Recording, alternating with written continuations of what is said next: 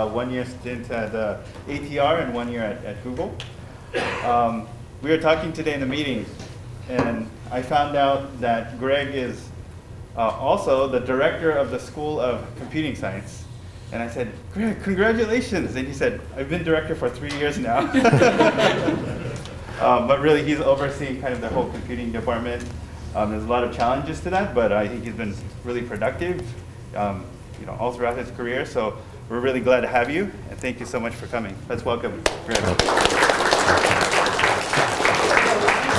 Thank, thanks very much, and uh, thanks for thanks for setting this up. I, I always say yes to things that get myself into trouble, so I became department chair. Uh, condolences, not congratulations, is usually what people would say. But seriously, it's fun. Uh, this may be my last trip. Uh, we have to get back. It's faculty hiring season, and uh, need to get, get back to that. So anyway, very happy to, to be here to tell you about some of our work on activity recognition. Um, the sort of, there's a main part to this talk, and then I've also thrown in an appendix, something that's sort of a bit unrelated that I wanted to just uh, talk with you about um, while I'm here, a bit on uh, visual question answering, uh, VQA at the end. Okay, so for the, the, main, the main part of the talk, I'm going to be uh, discussing our work on activity recognition to, so to set the stage for, for what we're, we're doing. Um, we'd like to be able to take in scenes such as this one, you know, either an image or a video, and try to understand what's happening here. And in terms of the, the, ingredients that go into sort of solving this activity recognition task, there are a number of things we need to do. Um, one of them, we, we probably would like to know whether or not there are people and, and where are they. And, these days, you know, the state of the art in algorithms like this has progressed to the point where I, I wouldn't say this is a solved problem, but we're definitely at the point on precision recall where we can almost, you know, 100%, maybe it's 98% precision recall equal error rates of detecting all of the people in this scene. But of course, you know, we want to go beyond that and we want to understand what's happening. So one of the things we, we might need to do is detect where are these people. So, so knowing that they are in a long-term care facility in a nursing home, that sort of context, knowing that there's a, a walker over here and that there's a chair, this helps me understand what's going on. So those people that I detected before, I'd also like to know individually what actions are they doing. So the problem of action recognition might be to put labels on these people, such as that one is standing, that one is running, that one has fallen. So I'd like to be able to do that as well. Beyond that, there, there are other types of things. I could ask, you know, why is that person running? Well, she's running to go get help for the person who has fallen. Why is she squatting? She's squatting to comfort the person who has fallen down. So this sort of intention or social role, that's something else that we've worked on in, in our previous work, trying to figure out why are the people doing the actions they are. And then at a, at a, sort of holistic level, what's going on in this scene? Uh, we often call this group activity recognition. What is the overall situation? So these are a set of people who are trying to help a fallen person. So all of these, all of these ingredients, all these different things that I want to solve, um, they're all interrelated, right? So I'd like to go um, tag what objects are in the scene, where are the people, what are they doing, what group activity are they engaged in, what sort of individual um, um, people are doing. All of that is related together. Okay, and so that's why I'm going to sort of talk today about structured models for understanding images and videos and how we can use those for activity recognition. The different dimensions upon which I'm going to, to, look at this sort of notion of structure, there are going to be three sort of main parts to this talk. In the first part, I'm going to talk about some of our work on label structure, where we're going to talk about interrelations between different objects or tags that I can put on a scene. So I'm going to talk about structure in the sense of labels. In the middle part of this talk, I'm going to talk about some things on temporal structure. So this is some joint work with Serena Yeung. I think actually came through here but a little while ago. I'll talk a little bit about our work on modeling temporal structures. And then finally at the end, I'll talk about modeling group structures and interactions between people. So some recent work that we've done on analyzing how groups of people interact together. Okay, so on to the first part, talking about label structure. And please feel free to interrupt me at any time, especially they're kind of these disconnected components. And so if you have questions on one part of it, I'd be happy to take those while we're doing that, that particular part. Okay, so to get sort of motivate what we're talking about with label structure, here's an input image over there on the left-hand side. And on the right, here's a partial set of labels that I could potentially put on this image. Um, you can think of each of these as sort of Boolean things, yes or no. Is this an indoor scene, yes or no? Is it an outdoor man-made scene, yes or no? Is it a sports field, yes or no? Is there a trench, yes or no? Is there a batter's box, yes or no? Okay, so I've got all these labels that I could potentially put on, on this scene. So pick one of these and, you know, maybe batter's box. And, you know, I think many of you are computer vision people. And so if you ask, you know, where in this image is the visual evidence for there being a batter's box in this scene, what would you say? yeah, the, the batter. Okay, the batter, the, the swinging, the sports field, probably you don't go and point at this smudge of white pixels that's over there. Uh, that, that is important. At some point, you probably need to actually check that, yes, there is actually a batter's box, and this isn't somebody, I'm not sure, standing in a different environment, swinging a baseball bat, or this is sort of, you know, someone warming up, not in the, the sort of, you know, at-home plate. So you probably need to go to verify that. But obviously, there, there are relationships between these labels, okay? And it's not the case that one would sort of just sit down and say, batter's box based on this smudge of pixels. You analyze this scene, and you can, you, there are correlations between these labels, right? And so, so I'm just sort of highlighting some things that are likely present here that, you know, things such as baseballs and batter's boxes likely go together. Things such as trenches and sports fields are unlikely to go together. All right, so there's some, there's some information that's contained in this that I sort of have relationships between the labels. There's structure there. And so certain scenes and certain objects are likely to go well together. Okay? So what we'd like to do is we'd like to build a, a, a, model that's able to incorporate those sorts of relationships between labels and infer them from the image content that I'm provided. Okay. So your sort of your standard approach could be I could take this image and put it through some sort of visual architecture. So you know, convolutional neural network that would go and try to predict which of those many labels is present are present in this, this image and which are not. Okay. And so beyond that, though, again, I would like to be able to model these correlations and, and relationships between them. So not just taking this visual architecture, which will be used to produce what we'll call initial activations, which will be corresponding to how much I think each of those labels is present in the image or not. What I'd like to do is I'd like to refine those. I'd like to do some sort of inference that operates over top of that knowledge graph, the sort of set of labels and the relationships between them that can help me refine those initial estimates for which things are present or not in the scene to get me better estimates for which tags I should put on this system. And what I'm going to describe to you is sort of an end-to-end -end trainable system that can do both of these things. So we can sort of have a visual architecture that will detect labels in the image. Then I can also do this sort of inference over top of those initial activations to get refined labels. And beyond this, I could use it not only with just an input image, but if I have access to metadata, right, if I have something like a GPS tag that tells me where this image has been taken, or if I have something about the user who uploaded this photo to a, um, a social media site, I could use that as well to help me get better estimates for my initial activations, and again, run this inference to improve quality of estimates for different labels. Okay, so I'm going to go into detail now and describe what this, this inference process is going to look like and how I'm going to, to build this. Okay, so I'll start off by describing it in doing sort of inference in a top-down fashion. Right? So by this I mean labels that exist at a sort of coarser or higher level of the hierarchy. Things like is this an indoor outdoor scene? Is it a man-made scene? Is it not? Working my way down to is this a sports field? Is there a trench? Is there a baseball? Is there a bat in the scene? The picture over here is meant to denote each of these is sort of one of those binary, in this case, labels that's in my, my, my graph of, of different concepts I know about. What I'll do is I'll take my, my input image and I'll put it through this visual architecture to get initial estimates for which of these things are present in the scene. So I'm going to denote those by sort of little x ti, which is going to mean sort of my initial activation for how much I think some concept is present at some layer in this graph structure I have to represent context. And that's going to be based on a CNN that operates over the input image. Okay, so now what I'm going to do is I'm going to try to refine those estimates based upon um, other concepts that are related to this working in a top-down fashion. So what I'll be doing is producing a new, refined, sort of better estimate, we hope, of that concept A. How much do I believe this is now present in the scene? Based upon other concepts that are either in the same layer as this current concept that I'm working on. So I can look at other items, other labels that are present at the same level of the hierarchy as me, and I can have some weights can basically say, how much do I think that there's going to be a trench in this scene based upon other concepts that are present in the scene at the same level of this hierarchy. Okay, so is there a trench here? Does that go with a pitcher's mound? Does that go with a batter's box, et cetera? There'll be a set of weights H, which will control how much do I reinforce those different concepts at the same level of this knowledge graph. Right? I will also, again, as I was saying, pass message from the top down. So based on refined estimates for different concepts at a higher level in the hierarchy, I will again have a set of weights which will control how much should those reinforce a concept at a slightly lower level of the hierarchy.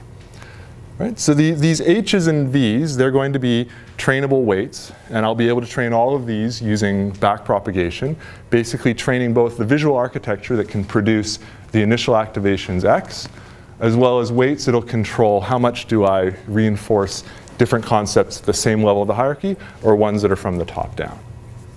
Right? And so really the way I view this is sort of it's very much akin to belief propagation or message passing in a probabilistic graphical model, except that what we're doing is we are learning basically the potential functions, to use that sort of terminology. The H's and the V's are basically saying how much should these concepts reinforce each other, what's the sort of you know compatibility of having different concepts at the same level of the hierarchy present together, or ones up above present with the ones down below. Okay, so of course there's no reason why we just have to run this process top down. We can also run it bottom up. All right, so in the same way that I can have weights that say how much should I have concepts at the same level of the hierarchy reinforcing each other, how much the ones from the, the layer up above enforcing the ones down below, I could do the same thing in a top-down manner and a bottom-up manner right? And so I can sort of repeat those, those equations, doing a top-down inference stage and a bottom-up inference stage, where I'll use little arrows to denote the parameters and the refined estimates that come from running this procedure top-down. Same thing running bottom-up. And then I can introduce extra things can basically combine those two results. So how much do I trust the top-down inference procedure? How much do I trust the bottom-up inference procedure? I can have weights U that trade those two things off. Right? And so again, all of those things I can, I can learn with backpropagation. I can figure out how much I should trust each of these different procedures. Okay, so that's sort of the, the bidirectional method. Um, I can also incorporate prior information into this if I wish. So if there's certain connections that I believe should either you know, not exist together, should exist together, should be positive correlations, should be negative correlations, I can do that by enforcing some structure to those ma matrices V plus and V minus that basically control how much concepts reinforce each other or not. So I can have some structure to those that, for example, has zeros where I don't want any correlation, or I can have positive values only in these, these matrices and make sure that these will enforce sort of positivity and negativity in how I um, construct things.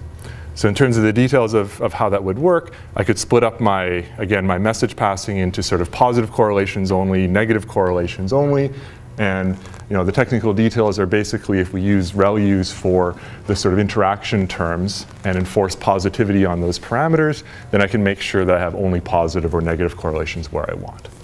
Okay, so this type of model can basically then be used to do this refinement of probabilities. I can enforce structure to it. I can incorporate prior information about which labels should be used together or not. Um, you could generalize this to have you know, exclusivity relationships or inclusivity relationships as well.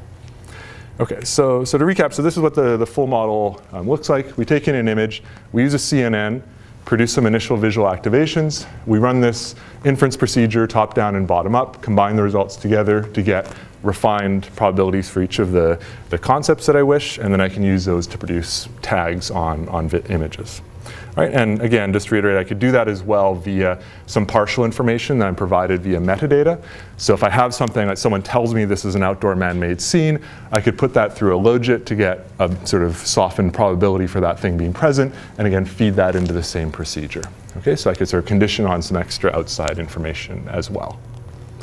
Okay, so we've, um, we've run this model on a variety of different data sets, both for um, images, and I'll talk a little bit about some more work on video analysis as well.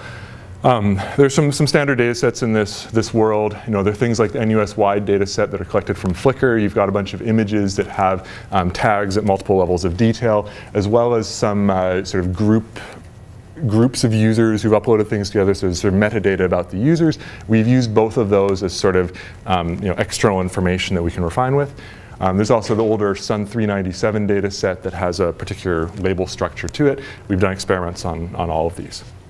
So I, I have a, a, bunch of slides and sort of running through, you know, the usual sort of thing. We do some ablation studies. We take out bits and pieces of the model. Um, these are sort of looking at mean APs, MAPs over um, the different data sets. The, the baseline that, that probably matters most is sort of doing a CNN with independent logistics for each of these tags. Right? So you could say, well, does this inference procedure matter? Why do you need to do this? Can't you just train up a CNN and have it predict each of these tags independently? Doesn't it capture enough information in its previous layers to do this sort of thing?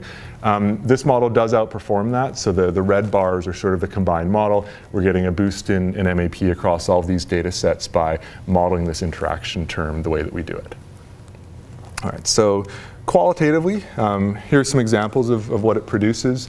Um, these are the test images up top, the ground truth labels um, in blue here, the CNN plus independent logistics for each of these um, concepts. That's what it will produce, and then our predictions are sort of these refined estimates. And again, you're sort of used to looking at these tasks, you know, the ground truth is far from perfect. You know, this first image is a good example. Um, the ground truth tag in singular is railroad um, only. Um, our method produces railroad, person, and sky, and person is an incorrect uh, label. So it sort of produces reasonable sort of things and is able to clean up some of the, the uh, results we have. Um, We've also you know, done things comparing to other state-of-the-art methods. Um, these results are on NUS-wide. Again, um, the red method is, is our one. We do things where we use you know, group, group memberships from the Flickr users as side information to try to um, predict what the tag should be on the, the image. And again, we get MAP results that are, are quite, quite good. Um, same thing with sort of Sun 397. These are more examples where in this case, we're assuming that someone gives us the top level category label, such as is this an outdoor man-made scene? Is it an outdoor natural scene? Is it an indoor scene? Let we assume that we have metadata that provides that. And then based on that, we can infer the rest of the tags that should go on this image. Right? And so again, the ground truth labels and our predictions are, are shown here. Okay, so recently we've also um, applied this to the YouTube 8M data set, so doing video tagging. I'm, I'm not sure how many people here work on, on this data set before. It's probably, probably the best in terms of the diversity of videos and the, the, this large set of labels that are possible. Um, the data comes in sort of two flavors. There are about 8 million YouTube videos with 4,800 possible labels. So there's a very rich set of structure in here. And sort of everything from you know, Lady Gaga videos to cat with head and toaster sort of things. All right, and the sort of representation we use is, I, I guess, kind of naive in a way, but it's pretty effective, is basically just to do mean pooling over a CNN architecture on a per frame basis. And so people who work on action recognition, it's always a bit disappointing that, that these sort of things work. Um, I always think that like, YouTube videos are weird. They don't necessarily have much temporal structure to these categories. I mean, I think if you're trying to find cat with head and toaster, you just need to see one frame like this. Like, that's enough. Once you see that, you know that it's okay. A mean pooling type of approach tends to get that type of representation quickly. Okay, so you sort of do per frame CNN, um, mean pool those feature vectors, end up with a representation that you then put into our architecture for doing message passing. And we sort of build a structure over the different labels that uses some sort of top level vertical sort of category labels and then the more horizontal labels that are cross category. We do inference up and down over that, that type of machine. So, so the results basically, we compare to a bunch of different um, baseline methods. I was mentioning there's not very much temporal structure in these videos. Um, recurrent neural networks like LSTMs tend not to do particularly well um, compared to just putting through things through CNNs. So there are a couple of baseline methods. Um, on the left, those are mean APs, so 26.6 mean AP for an LSTM-based method and 28.1 for a logistic regression one. Um, we have methods, you know, using our, our inference, it can basically give you, you know, three, four points improvement in MAP by doing that message passing up and down.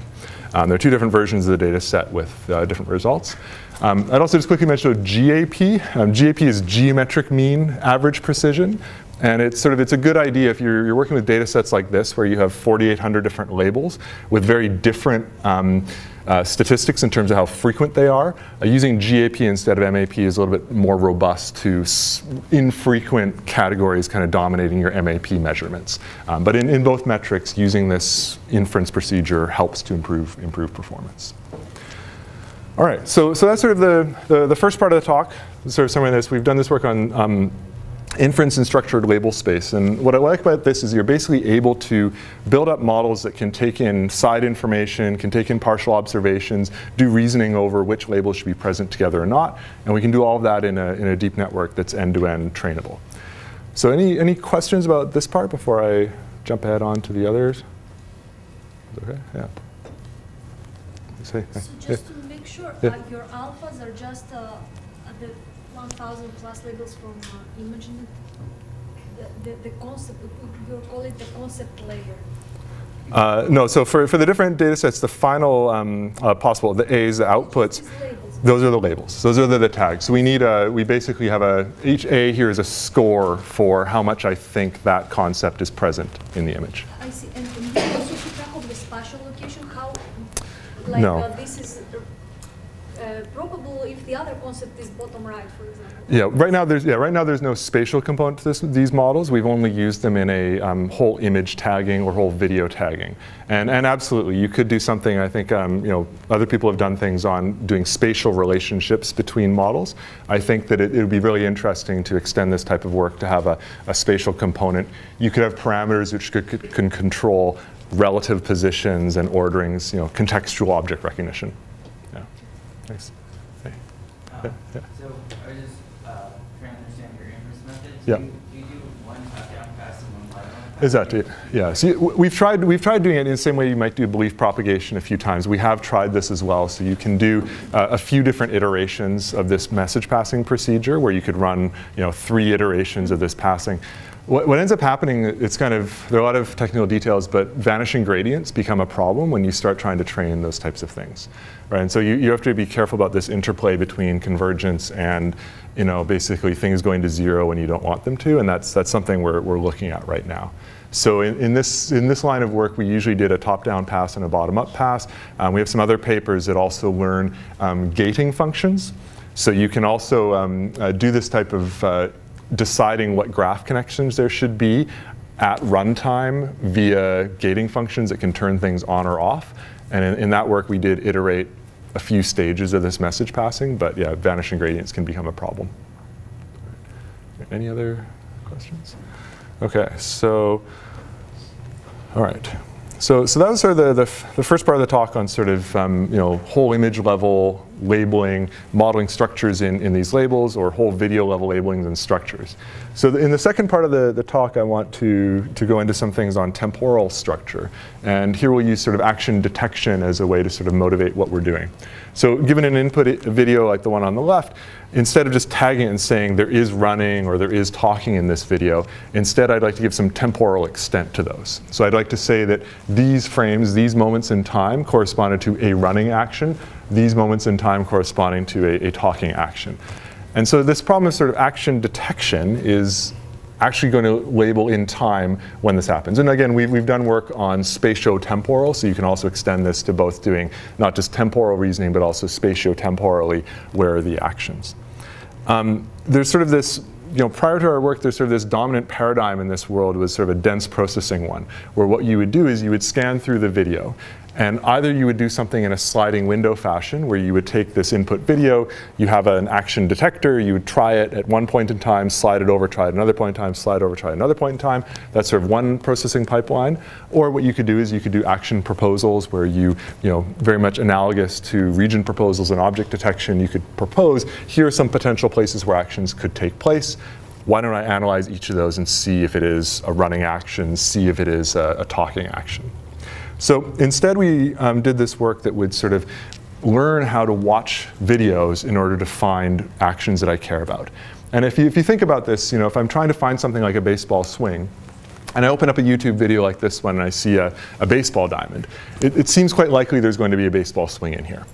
On the, on the contrary, if I open up a, a video and I see someone in a bowling alley, seems very unlikely someone's going to whip out a baseball bat and all of a sudden swing it. I mean, it could happen. These, these things sort of, you know, it's not necessarily the case it's always going to be happening at baseball diamond, but it seems unlikely that that type of action is going to take place in that scene. So when, I, when I, I'm trying to find baseball swings, I should probably look at what I have here and decide whether or not this is even a video worth watching. And on the other hand, if I open up this frame, there's really not a whole lot of value in then skipping forward one frame and seeing what the next frame of this video is. Again, there's, there's a lot of correlation between those frames, and it's probably not necessary to go scan to the next frame in this video and ask again, is there a baseball swing here?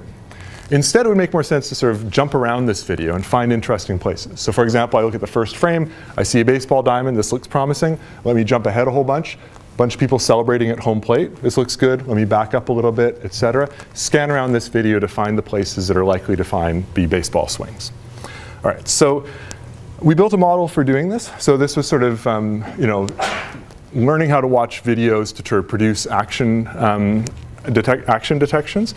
Here's what this model looks like. You basically take a video frame, put it through a CNN to get a representation for what's in that frame. Put that into a recurrent neural network that can basically maintain what have I seen so far.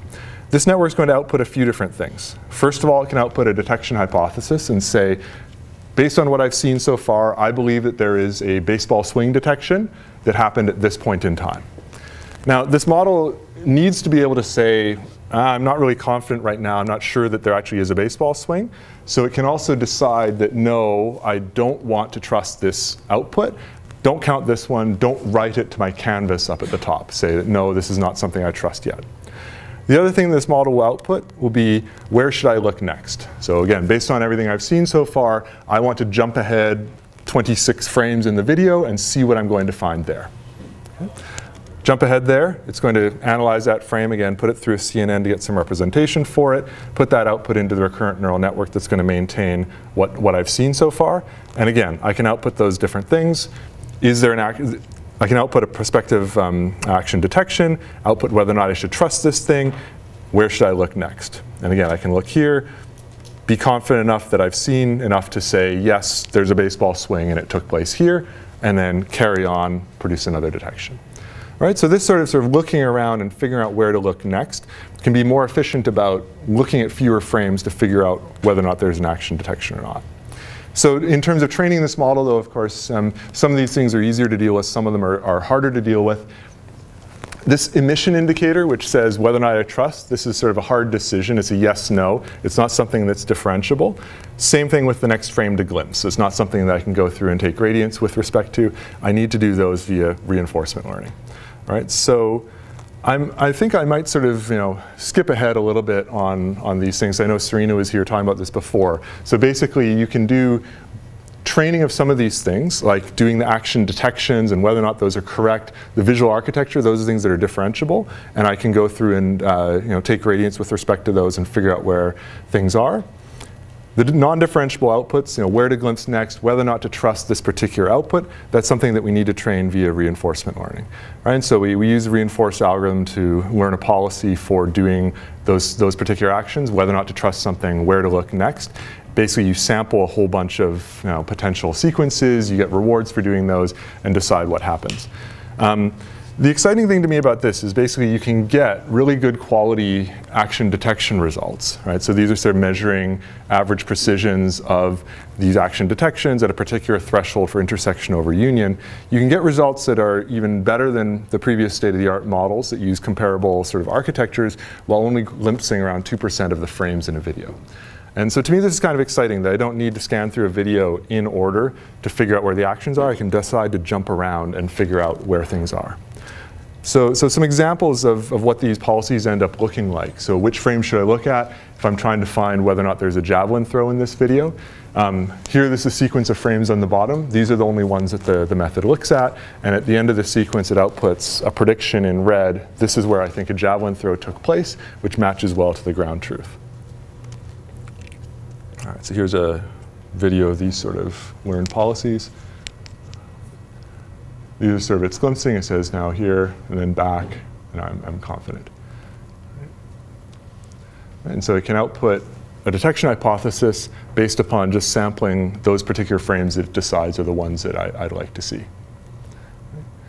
The other important thing about this method is that it can, can do it at an offset sort of thing. It doesn't have to output a detection instance centered right where it is right now. Right? So it can sort of say, this looks like the end frame of a hammer throw, or this looks like the, end, the beginning frame of a hammer throw, output a detection that is offset from where I am right now. And again, that's something that's more powerful than the, the regular sort of scanning things that need to sort of analyze this whole chunk. You can build models that basically know what offset I should make for things. I think it's interesting, actions like this, the sort of long jump, it's got a very um, sort of sequential approach to it. So if it looks at a frame, looks at a frame, looks at a frame, it doesn't detect long jump until really right at the end of this. That's when it decided that I'm confident there's a long jump. Probably, you know, there are related actions like a triple jump, where you do sort of hop, skip, and a jump down here. It wants to see the whole sequence. Ah, there was no hop, skip, and jump. I've gotten to the end of this. Looks like it's a, it's a long jump. All right. Okay. And so, you know, we, we did sort of ablation studies again to check, you know, what are the benefits of these different components of the model. So things such as, you know, deciding when I should output. So if I turn off that indicator variable that lets me say, don't trust this particular detection, the performance drops a lot, which is kind of obvious because you don't want to force this model to always make a prediction. Um, it also matters that you sort of can you know, not do uniform sampling over the frames. So if I just sampled 2% of the frames uniformly, that would not perform as well as these methods. And again, it's because this method can devote resources to where it matters. It can sort of sample frames near the boundaries of actions rather than just a priori saying, let's uniformly sample all the frames that we, we have. And of course, those two things together is, is even worse. Okay, and, and finally, as I was mentioning, you can do location regression, deciding where should, how long of a, a, an output should I make and what sort of offset should I have. Okay, so that's sort of the, the, the middle part, part of the, the talk, talking about sort of temporal structure and uh, you know, reinforcement learning methods to learn how to watch uh, YouTube video type videos to find actions. Does anybody have any questions about that part of the talk? Okay, good, okay. So the third, third part I want to talk about is um, group structure and some methods that we've done for analyzing um, what a set of people is doing. So um, context is very important in actions. And as a, as a professor, I think in, in, the US, when you write grant proposals, you have to write sections on broader impacts and, and things like this. In Canada, we have related things. Um, your work has to be important to Canada. Okay, so my work is important to Canada because it solves a very important Canadian problem, which is uh, who has the puck? Okay, so um, do you know who has the puck? I guarantee you there are zero puck pixels in this, this image. Um, but you look at it, you can sort of see based on body posture and so forth, um, it's, it's that guy. He's the, he's the one who, who currently has the puck. And we've actually um, built algorithms. This is some older work that we did in 2011 on um, you know, figuring out which of these people has the, the field hockey ball. The, our prediction is the person in pink. And so this is, this is based on sort of hog features and models that sort of look at relative arrangements of people and, and body pose. And basically you can sort of see that everybody's looking sort of in one corner, though that's the person who likely has the, the ball. Okay, so, so our more recent work in this, this domain has been sort of looking at human trajectories um, to try to analyze um, groups of people and behaviors and figure out what they're doing. So these trajectories are, are, are re real trajectories from um, NBA basketball um, games. You basically have the, the positions of all of the players and the ball for you know, every single possession in the games. We have similar things on, on NHL hockey data as well. And from trajectories like these, I'd like to build models that can analyze them and figure out things such as um, which team is this? So you saw that, that blue set of trajectories. Which NBA team was this? I'd also like to do things such as you know, which player was that? Um, make predictions, like will this shot be successful? What is the next action that's likely to happen? And so we, have done work work toward all of those things, and you know they're they're serious. You know the Moneyball thing is very serious. You know GMs and coaches, et cetera, use this sort of data. There's all sorts of entertainment applications as well, sports gambling, et cetera, et cetera. Um, and you can you can make predictions like this. So I'll show at the end of the talk some of our results toward this, but we have methods that basically just from the trajectories alone a single possession in an NBA basketball game, we can predict with 25% accuracy which team that was uh, just from one possession. Right? So we see that, that, that set of trajectories, oh, that was the Golden State Warriors. All right? And um, if, you, if you aggregate those over entire games, you can get really, really high accuracy in terms of which team this was just from seeing the, the motions of the players. They're, they're, apparently they're that distinctive. Okay, so um, that's sort of an example of this in um, uh, um, uh, uh, basketball, but we do the same thing in hockey, right? So again, I was mentioning at the beginning of this talk, the state of the art in human detection and so forth is, is really good these days. Um, so are things like doing homography estimation for, um, you know, unconstrained, or not quite unconstrained, but broadcast video of sports arenas. So from broadcast um, video of hockey games, you can basically take in that image and figure out where on the rink you're looking at. You can estimate a homography matrix that's, that's basically perfect. Um, I, I, have a story to tell about how good it is. So I worked closely. With, I work closely with a company called Sportlogiq. They do sports analytics. They're based in Montreal. They work with um, a lot of uh, NHL teams. They're really seriously um, good at this. They have a homography estimation algorithm. It's based on deep learning. Okay, they were running it and they, they run on all NHL games that take place. They run this, they estimate player positions based on human detections, et cetera, et cetera. And they found that in one hockey arena, their homography estimation was always wrong. Right? It kept saying, you know, the blue lines, I don't know how, the blue lines, they were a large amount wrong. So not, not like a couple of inches, but many feet in the wrong position. Keeps giving the wrong answer, wrong answer. So like, okay, something wrong with our algorithm, something wrong with our algorithm. Let's call the equipment manager off at that arena, get a tape measure. Can you please measure the distance from the, the red line to the blue lines? So in, in NHL, these are supposed to be prescribed distances. There's no variation allowed. It's supposed to be a certain amount. And they go off there and they measure it, and it's wrong by, you know, four, some, some large number of feet. And it, it's some sort of deflate gate thing. I mean, I mean and if NFL fans know like deflate gate and so forth, um, this is not sort of widely known. I can't say who it is, et cetera, et cetera. But you know, maybe they were doing that on purpose. Who knows? Um, but th that's how good these algorithms are for estimating homographies. So the older methods would be based on you know, feature points. You say, I know NHL rinks look like this. I detect lines. I detect these circles. I match those. I figure out what it is. Nowadays, what you can do is with, um, you can use that as training data and then use deep networks to basically predict, um, given an arbitrary frame, where are you? And it's very important because um, broadcast video has commercial breaks, they have a lot of camera um, changes. You, you, need to be able to reliably, from a frame, estimate the homography, and it's really good. Um, same thing about the player detections. The, the, things work quite, quite well. You can then use those in detection by tracking frameworks to get very accurate trajectories of the players in rink coordinates. Um, there are other issues too about players who go out of field of view, et cetera. You can fill those gaps in using priors on where people appear and disappear. Suffice it to say, you can get really accurate trajectories for where the players are on the ice, and over time then figure out things such as, well, I'd like to know that given those trajectories, what's happening in this scene is that, you know, player one has the puck and is passing it to player five, while player two is trying to intercept that, that pass. Um, so what we like to do is build models that can analyze these trajectories that we get automatically out of those, those algorithms to then figure out what actions are taking place in these scenes. Okay? And you know, obviously locations matter. These are some examples of the types of events that we try to, to recognize. Um, shots, puck protection events, that's when you sort of someone tries to take it away from you, you stop them from doing so. Um, passes, dumping in out of zones, etc. And th those have sort of you know, di various distributions in terms of where they would take place over the ice. Those sort of things really do matter. Um, one of the challenges, like I said, we really we can't see the puck. We, we really can't um, with, with the vision algorithms. We, we need to know sort of who, who has the puck. And we, we do sort of methods that will either um, infer that or we will assume that it's, it's given. Okay? And so we can infer that and we'll build representations of all of the other players, usually with respect to the person we believe is currently having the puck. We'll call that sort of the key player. In the basketball context, we actually do have tracking information for the ball. We will again define the key player to be the person who has the ball. We'll try to build representations for the other players with respect to that person. Um, the, the, networks that we'll build will come in two different flavors. So one of them will be this so-called share compare trajectory network, and the other one will be a, a, maybe a simpler approach where we just stack trajectories for different players. Okay, so I'll, I'll tell you a little bit about what this share compare um, trajectory network looks like. Okay, again, the input to this thing is going to be a set of trajectories, XY coordinates in a world coordinate system that's going to be you know, the NBA arena or the, the um, NHL rink. I'm going to put it through some network and I'm going to use that to do different tasks like classifying what event just took place, classify which team this was, make a prediction about what's going to happen next in the game.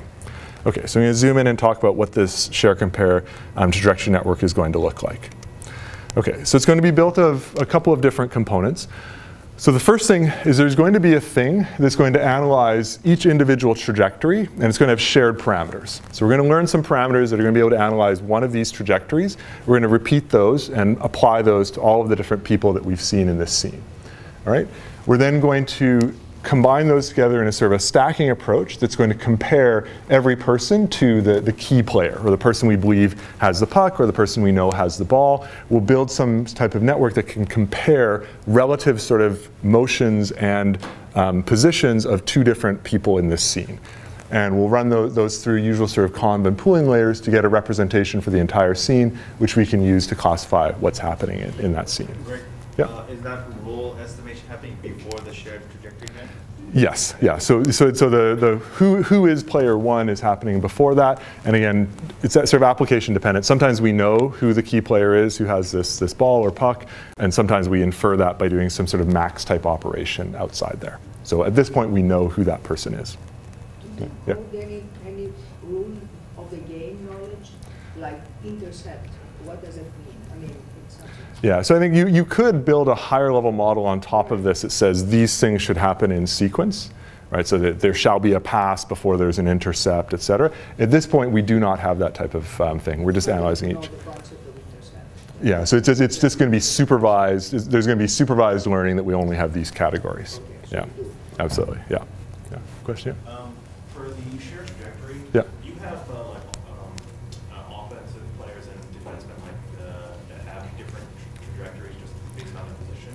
Have you looked at having different um, nets for each of those? Uh, absolutely, yeah. So we, we've experimented with a bunch of different uh, variants of this, and exactly. So if you have team membership, you could build models that have, um, you know, features for same team, features for opposing team.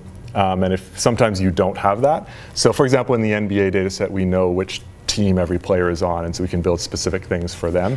Um, for the version of the NHL data set we were working with, we didn't have that information, so we couldn't. Yeah. But yeah, you, you should be able to do that um, in general. Um, anything else?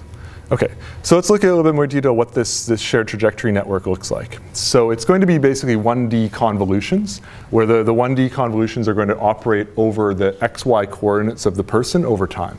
So, so these are basically x1, y1, that's the position of the player at the first time, x2, y2, that's the position of the player at the second time step, et cetera. What we're going to do is we're going to learn um, convolutional um, kernels that are going to go over top of this sequence. And what they'll correspond to is basically, do I have a person who's moving in a straight line? Do I have a person who's making a cut to the left? Do I have a person who's making a cut to the right? The sort of the parameters of these, these conv kernels, they're going to tell me what types of patterns I'm looking for. And so as, as you can expect, basically, we, we run those over top of the, the sequence. We'll have a set of those things with different parameters. They're going to look for those different patterns of motion. And then we can do pooling, right? We can pool those over time to basically say, I don't care exactly when that, that particular pattern happened. And again, we can stack those up as you would with a ConvNet for analyzing images. You could stack up layers of these sort of filtering and pooling operators that analyze the trajectory of one of the people. Okay? And so we, we, we learn parameters of those, stack those up on top of each other, and that's how we'll analyze one individual person.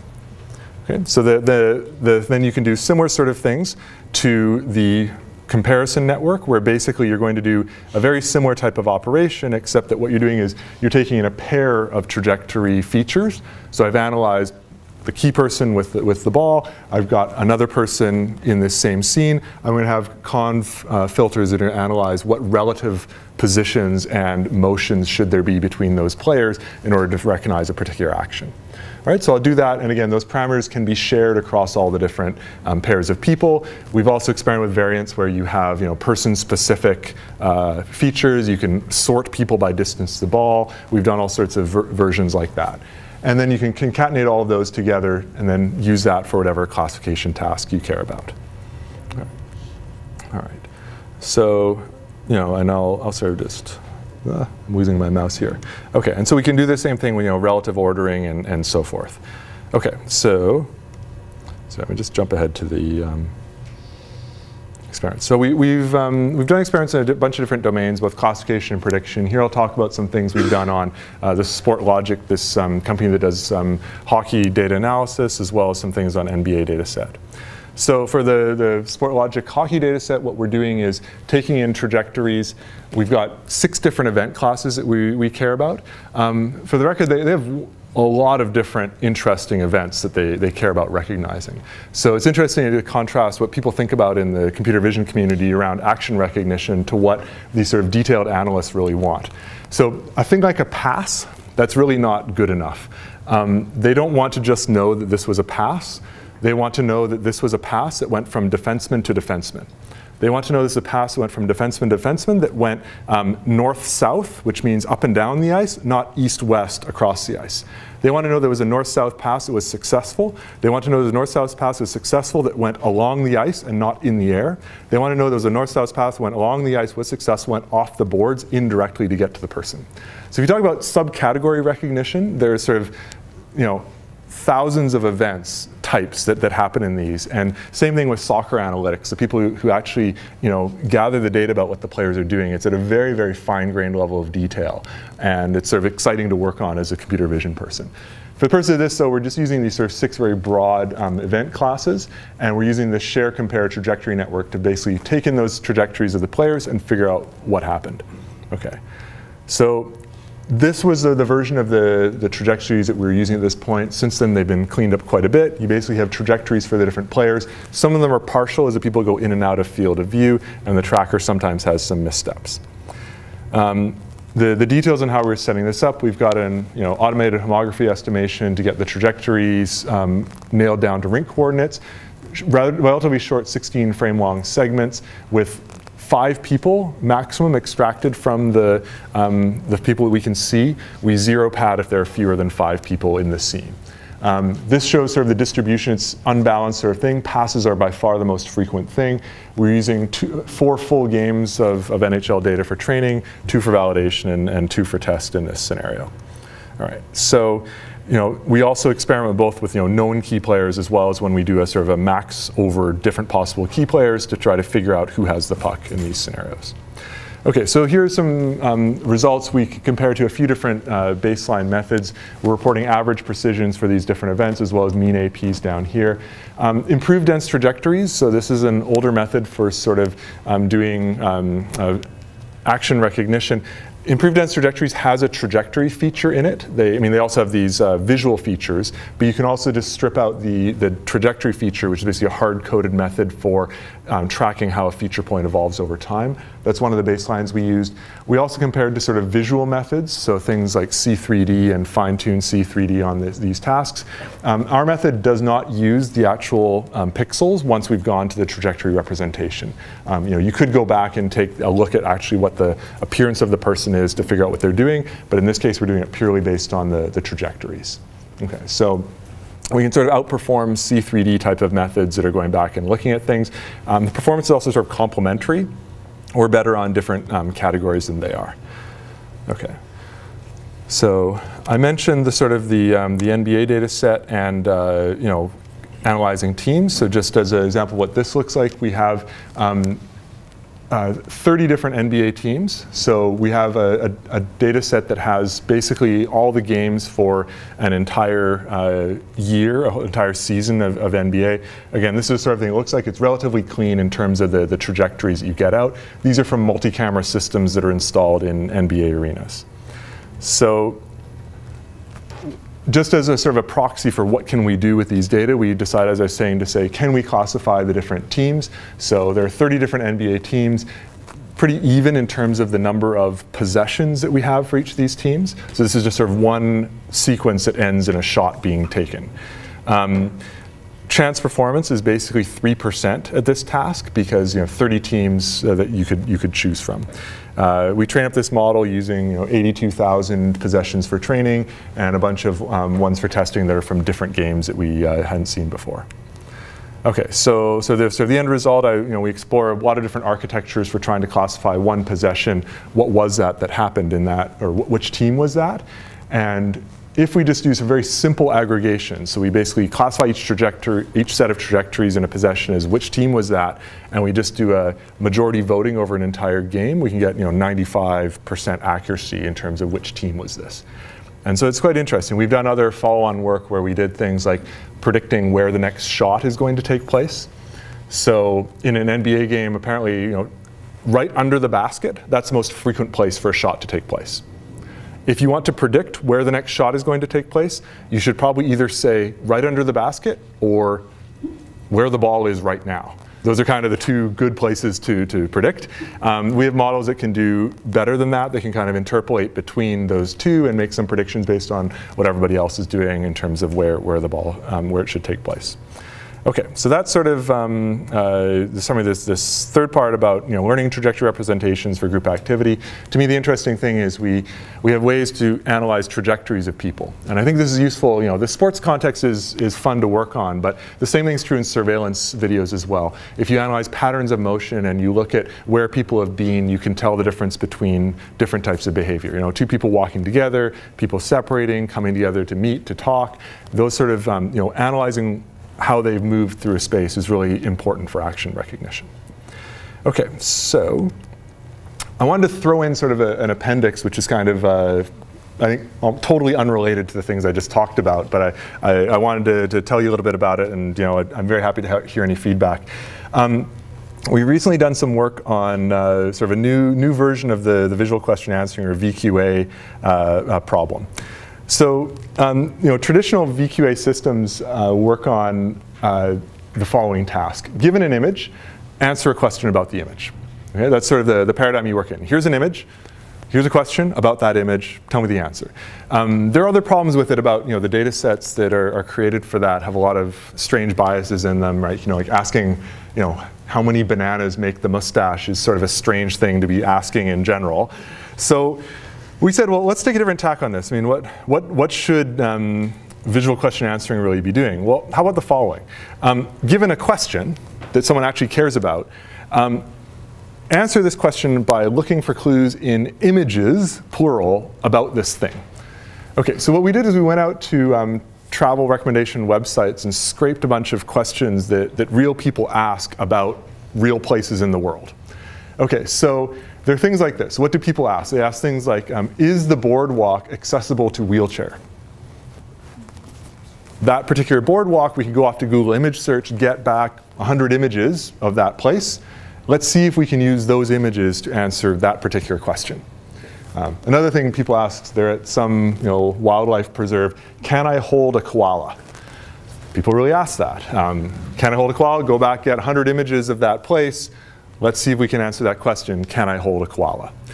Okay, so um, we did this. We collected raw data from several travel, travel recommender websites. Um, we got you know 53,000 questions and answers, um, again plural answers, collected from 5,000 different unique places across five categories. Um, we basically chose categories where there were large numbers of questions were asked. Um, the categories are hotels, museums, restaurants, nightlife venues, places for outdoor activities. Um, so some more examples of the types of things that people ask in the image area. So question, you know, I saw dogs are allowed on the deck. Are they also allowed on the beach? A whole bunch of images of this particular um, probably beach hotel resort. Um, here's a restaurant. Is a jacket required for men? Bunch of images of people dining in that restaurant. So the interesting thing is, you know, the, the ground truth answers are also sometimes complex. So the ground truth answers for the first one were, answer one was, we only allow dogs on the deck, on the deck only. Answer two, sorry, they are allowed in, on the beaches. There are, however, beach, they're not allowed on the beaches. There are, however, beaches where you can take your dogs. Um, so, you know, people often provide more information than is necessary. Um, more example of this, you know, here's a, another place I could go. I am on crutches. Will it be a problem? Okay, so it's a very mountainous sort of place. In answers like, we went up by the normal wooden steps, wide and not too steep for easy hike to the mountain by foot with our tour guide from China Highlights. Absolutely nothing to do with whether or not the person can do it. Answer number two is not a good idea, I would say. Okay, so, so what we did, you know, we took all these things, you know, more examples like, I would like to have rooms with a sea view. Do you have such rooms in the hotel? So people ask hard questions. Okay, they don't really ask easy questions like, you know, how many bananas make the mustache. They ask things that are actually difficult. And then when they answer them, um, not all of them have uh, binary answers. Okay, but what we do is we'll filter the data set down to only those two types. So we we throw out questions that are basically um, not visually answerable. So sometimes people ask things like, what time does the museum close? And while maybe there's a picture of the sign that says opening hours, there, there likely is not. I think there's a much broader interest. There is a whole, you know, question answering is a task in and of itself. And I think that more broadly pushing in that direction would be really interesting. You know, you could go off and get other types of data to help answer those, those questions. Right? So, you know, question, my, my husband loves Italian food but not pizza. Is there anything else on the menu? Lots of pictures of food at this restaurant. Um, do you have kitchenette in the rooms? Pictures, and some of them have, have questions. So what we did was we, we went through all these um, questions, we filtered them to make sure that they're visually answerable. We also filtered the questions to make sure that they have a sort of a single query. Sometimes people ask you know, long things that have many questions embedded in them just for simplicity. You could go back and break those apart into the different questions. Um, so you know, things like, you know, hi, do the individual rooms in this hotel have a safe where you can keep your valuables in? Yes, we keep that question. What time is the bar open? No, we don't keep that question. We don't think that's going to be visually answerable. Um, as I was mentioning before, people ask or, or respond with really helpful, long-winded things. You know, someone asks, "Is there parking?" And people write, you know, a paragraph about, you know, overnight parking and pricing and things nearby and, you know, what we tend to do and what we like. We just say, yes, yes, there's parking. That's all we're trying to predict. Again, I think it'd be really interesting to try to build a, um, a generation method that would actually generate stuff like this. So not just a yes, no, but you could you could train up something that would actually generate um, answers that were, you know, more interesting than just the binary thing that we do. So, so in, in the end, so we have you know, about 5,500 visually answerable questions that have a single query that come from 2,500 different distinct places. We have about 230,000 images that correspond to those places, um, you know, 97 images for each place on average. And so the final, you know, sort of how hard is this data set? Yes is the most common answer, but it's only sort of you know, 65.6% as a yes. Um, Another thing we did was we said, well, how good are people at doing this? So we, we gave human evaluators questions from this data set, a subset of them, we didn't do the, the whole thing exhaustively, we gave them the images that you have, and asked, you know, how well can you answer these questions? In this subset that we did, it was sort of 76.6%. Again, it's kind of a hard task. There are, are things that require external knowledge. I don't claim that all of it's going to be visually in these, these images. And again, people ask things that are difficult to answer. That's why they're asking them. It's not necessarily a clear sort of thing. Um, we ran a bunch of different algorithms as well. So another problem with VQA datasets is that often um, if you ignore the images, you can do quite well. So this data set seems not to have that type of bias. If you just use the question features, either via bag of words or LSTM embeddings, you get results that are pretty close to that baseline, just guess yes. Um, we've, we've, played around with uh, various adaptations of state-of-the-art methods for VQA, adapted to the setting where you have a set of images that go in, which is different from the, the traditional one image, one question, and we can get something that's in between. So you know, 70% uh, performance by doing um, questions plus images. So I, I, hope we'll be releasing this soon. We've got to sort of clean up the data set and so forth, but I'd be very happy to talk with people more about, about what we've done.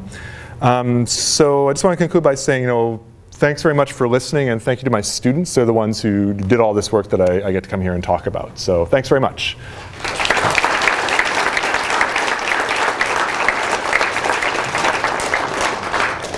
Uh, any questions? Uh, I was just wondering, uh, you have this beautiful application that we watch the trajectories and we predict the team. Right. Uh, however, the other teams yeah. know that. Yeah, yeah, yeah. So no, no one cares predicting which team it is, for the record. Yeah, yeah, Can yeah. you go and yeah. explain why is this team? Yeah, exactly, exactly. So we've, we've done things about you know analyzing which plays are most indicative of this particular team. Um, like people know basketball. There's a play called a pick and pop that some team runs. We find these. So we've done that as well, and also it's a good proxy for things you might actually care about. So um, the predictive thing I think is much more interesting. Predict what's going to happen next. Yeah. Okay, so people are kind of leaving on not. Does anybody want to make an uh, announcement about the PSR? I don't know. There's a PSR next door. okay, that's, that's it. so yeah, let's thank Greg again. All right, all right thanks.